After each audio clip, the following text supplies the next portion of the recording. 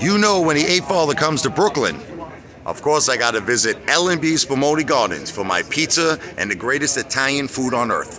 Oh!